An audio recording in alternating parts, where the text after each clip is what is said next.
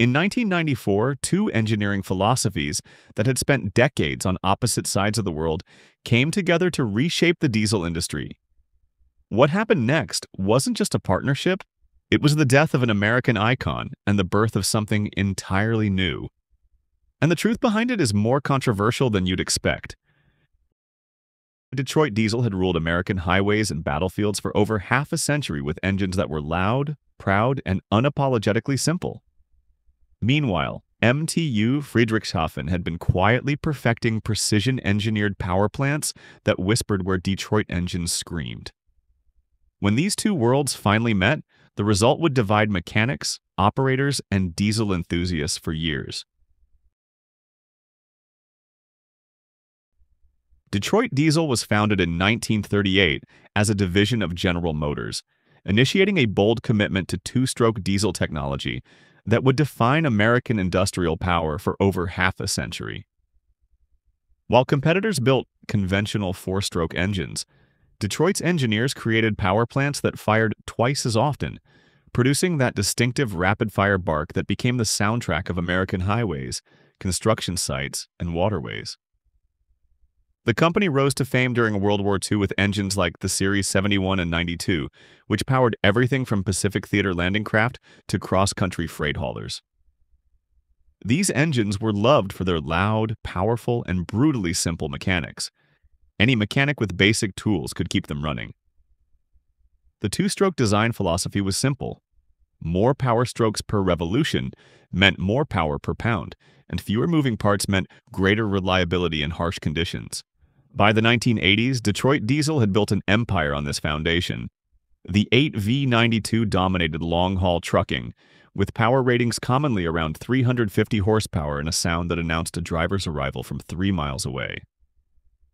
The massive 16V149 produced up to 1,200 horsepower and moved mountains, literally powering the heavy haul rigs that transported oversized loads across America. These engines didn't just move freight, they defined what American diesel power meant to an entire generation of operators and mechanics. But Detroit's greatest strength was becoming its fatal weakness. Two-stroke engines burned fuel constantly and leaked unburned diesel through their exhaust ports, creating the blue smoke that followed every Detroit down the highway. The scavenging process that cleared exhaust gases also allowed unburned fuel to escape, making these engines thirsty and dirty compared to four-stroke designs. By the 1980s, Detroit faced mounting pressure from emissions regulations, noise ordinances, and fuel efficiency demands. The two-stroke era was fading as environmental concerns grew and operating costs became critical factors for fleet operators. When the EPA began enforcing Tier 1 emission standards in the mid-90s, Detroit faced an existential crisis as its two-stroke engines struggled to comply. The EPA's Tier 1 standards limited nitrogen oxide emissions to levels that two-stroke engines simply couldn't meet without expensive after-treatment systems that would double their cost and complexity. The company needed a technological shift to survive, but abandoning two-stroke technology meant abandoning everything that had made Detroit Diesel an American icon. MTU Friedrichshafen represented everything Detroit Diesel was not, a company born from Maybach's military engineering legacy that specialized in precision over power, efficiency over noise. Founded from the ashes of Germany's post-World War II industrial reconstruction, MTU became known for four-stroke, high-speed diesels that whispered where American engines screamed. The company's breakthrough came with engines like the Series 956, which produced up to 2,680 horsepower while running at less than 108 decibels. Quiet enough to meet strict European noise regulations and stealthy enough for military applications. MTU's secret was obsessive attention to detail, electronically controlled fuel injection that adjusted timing thousands of times per minute, advanced turbocharging systems, and combustion chambers designed using computational fluid dynamics. MTU had established itself as the premium choice for marine, rail, and industrial applications across Europe by the 80s. Their engines powered luxury yachts in the Mediterranean, high-speed ferries in the North Sea, and backup generators in hospitals where reliability was literally a matter of life and death. MTU specialized in common rail fuel injection, quiet operation, and highly engineered systems that delivered superior fuel economy and lower emissions. But the American market remained largely closed to them, dominated by Detroit's established dealer network and mechanics loyal to two-stroke simplicity. MTU had the advanced technology to meet future emission standards through precise fuel injection and combustion management, but they lacked the manufacturing scale and market access to compete with Detroit's dominance in American industrial applications. MTU was perfectly positioned to solve the problems Detroit diesel faced. They had the clean, efficient, quiet technology that could meet EPA regulations. What they needed was a way into the massive American market that Detroit controlled. The crisis that forced these two worlds together began with EPA regulations, but the solution emerged from an unexpected alliance. Industry executives who understood advanced diesel technology recognized that MTU's four-stroke technology could solve Detroit's emissions crisis, while Detroit's manufacturing capacity could give MTU the American market access they desperately needed. The first meeting between Detroit and MTU engineers in the early 90s revealed an immediate cultural clash. Detroit's team arrived expecting to discuss adapting MTU technology to Detroit's manufacturing processes. MTU's engineers had prepared detailed presentations on why Detroit's entire approach to diesel engineering was fundamentally flawed. The breakthrough came when both teams realized they were solving different problems. Detroit needed clean, efficient engines. MTU needed market access that could justify the massive investment required to develop next-generation diesel technology. Neither company could achieve its goals alone, but together they could create something entirely new. The development program that emerged from these negotiations was unlike anything either company had attempted before. The Series 2000 and Series 4000 engines would combine MTU's four-stroke architecture with Detroit's expertise in the American market. But this wasn't simply a matter of building MTU engines in Detroit factories. It was a complete reimagining of what a high-performance diesel engine could be. The first Series 2000 engines fired up in the mid-1990s at Friedrichshafen, marking a major shift in diesel technology. The 8 V2000, displacing 17.9 liters and producing 965 brake horsepower, sounded nothing like a Detroit engine. Gone was the distinctive two-stroke bark, replaced by the refined rumble of a four-stroke that could barely be heard over the cooling fans. But the real revolution was hidden beneath the valve covers. The Series 2000 featured common rail fuel injection technology, a hallmark of the Series 2000 engines, preceding its widespread adoption in passenger vehicles by several years. The electronically controlled common rail system delivered multiple injections per cycle with precisely metered timing and quantity, producing cleaner combustion and better efficiency than mechanical systems. This level of precision was impossible with Detroit's traditional mechanical injection systems. The Series 2000 could adjust injection timing to within 0.1 degrees of crankshaft rotation and vary injection pressure based on load, speed, and ambient conditions. The result was significant improvements in fuel economy and emissions compared to Detroit's two-stroke designs and emissions levels that easily met EPA Tier 1 standards, with room to spare for future regulations. The Series 4000, introduced soon after, pushed boundaries further. Available in 12, 16, and 20 V configurations, these engines produced up to 4,300 horsepower while maintaining the same efficiency and emissions performance as their smaller siblings. The U.S. Coast Guard's Sentinel-class cutters were built with twin MTU 20V4000 M93L engines, each rated at about 4,300 kilowatts, about 5,766 horsepower, which gave the 154-foot vessels a top speed of about 28 knots and enough electrical capacity for modern sensors and communications. Alaskan fishing fleets adopted MTU's high-speed four-stroke engines from the Series 2000 and 4000 family in new builds like the 136-foot factory longliner fishing vessel Arctic Prowler, outfitted with twin 1,000 horsepower MTU mains for Bering Sea longlining. Compared with legacy Detroit two-strokes, the newer high-speed four-strokes ran noticeably quieter, making engine room communication easier, a luxury unknown on traditional fishing vessels.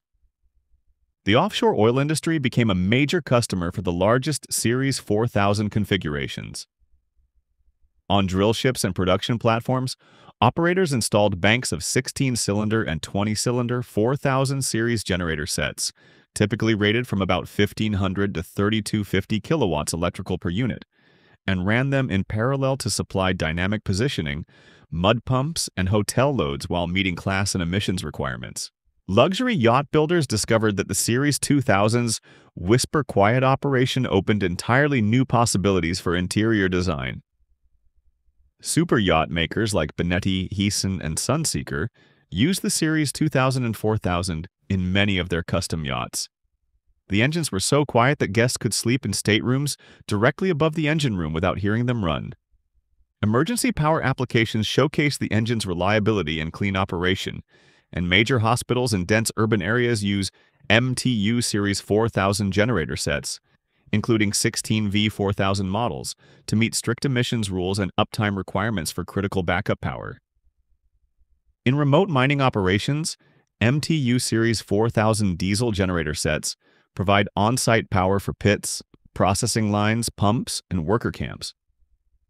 Sites typically use containerized 60 Hz units rated from about 1125 to 3250 kilowatts and run them in parallel as multi-megawatt plants. Electronic controls handle large load swings and changing altitude and temperature, while emission-certified packages keep operations compliant. Railroad applications demonstrated the engine's versatility and power density. Some passenger rail applications explored Series 4000 engines for power, benefiting from their compact design and power density. The engine's compact design allowed more space for passenger amenities while providing the acceleration needed for higher speed operation on upgraded Northeast Corridor tracks. What emerged from this collaboration was something new neither truly Detroit nor MTU. Detroit's rough and ready ethos had collided with MTU's engineered precision, creating engines that delivered lower emissions, better fuel economy, and longer maintenance intervals than anything either company had produced independently. But they also represented a fundamental shift away from the democratic simplicity that had made Detroit engines beloved by mechanics across America.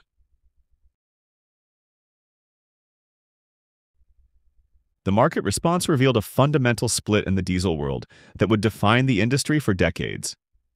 Marine operators who had struggled with noise regulations embraced the Series 2000's 95 decibel operation, quiet enough for normal conversation in the engine room at full power. Commercial operators saw fuel costs drop by thousands of dollars monthly, and maintenance intervals stretched from 500 to 1,000 hours between major services but longtime Detroit customers felt betrayed by the complexity and silence of the new engines. Purists disliked not just the technology, but what it represented. The end of an era when diesel engines were mechanical devices that any skilled technician could understand and repair. The Series 2000 required specialized diagnostic equipment costing $15,000 per service bay, more than many small shops had invested in all their tools combined.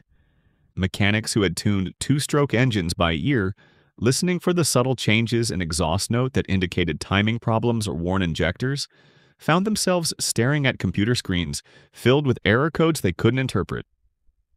Parts costs skyrocketed in ways that shocked the industry. A common rail injector cost $800 compared to $150 for a mechanical unit injector from a Series 92. The electronic control module that managed fuel injection cost $3,200 to replace more than an entire mechanical injection pump. Some considered it a betrayal of Detroit's heritage. Truck stops that had serviced Detroit engines for decades found themselves unable to work on the new four-stroke designs.